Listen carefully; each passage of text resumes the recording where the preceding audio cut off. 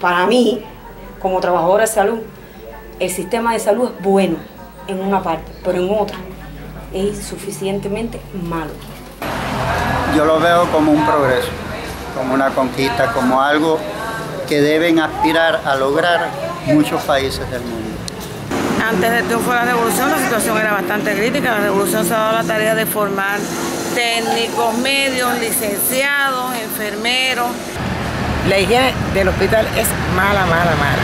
La higiene de las salas, donde hay tantos pacientes que son pacientes operados, que necesitan una higiene extrema. Ahí no puedes ir un baño, ahí no puedes ir un pantry, ahí no puedes hacer nada porque son salideros.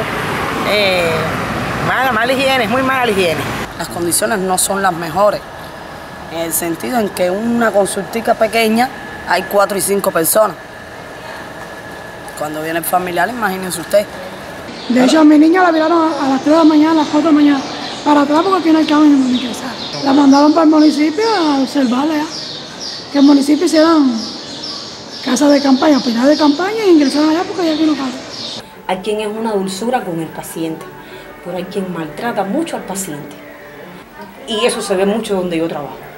Considero que hay mucha falta de comunicación entre médicos y pacientes porque usted a veces puede llegar a un hospital en muy malas condiciones, pero si es recibido de una manera mm, afectiva, eh, ya usted comienza a sentirse un poco mejor por muy mal que usted llegue allí. Al que se gradúa hay que darle un voto de confianza, pero yo soy educadora y la experiencia nos ha dado que la experiencia es la que nos da el trato. Ser capaces de poner por encima de los intereses individuales los intereses del colectivo, de la población. Bueno, que se ocupen un poquito más de las cosas y que atiendan mejor el, que el problema de salud. Hay cosas que no llegan, que no es culpa ni del director, ni de nadie dentro del hospital, sino un poco más arriba. Casi siempre el, el paciente estimula a su médico con un presente. No es por el menos hecho que ellos te lo piden, porque en ningún momento ellos lo piden, sino que el paciente agradece la, la voluntad. Hay médicos que se han habituado al que qué me puedes traer o qué puedo adquirir.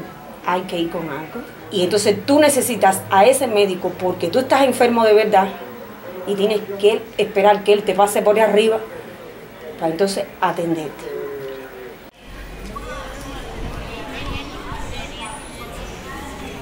Yo entiendo que con, con tanto médico en el extranjero, nosotros hemos perdido mucha calidad en lo que es la medicina, porque casi todos los especialistas han ido para afuera. Y eso hay que tenerlo en cuenta.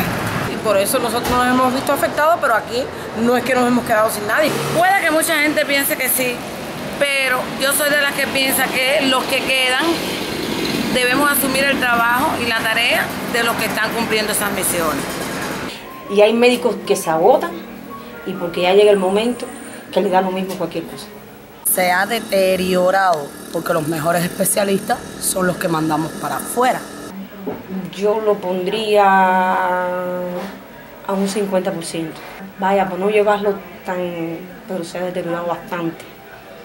Antes había menos recursos cuando esta revolución empezó y se atendía más al paciente.